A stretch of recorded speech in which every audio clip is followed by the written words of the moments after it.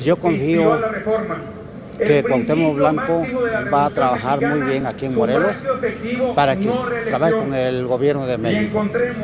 Queremos que, que todo salga bien.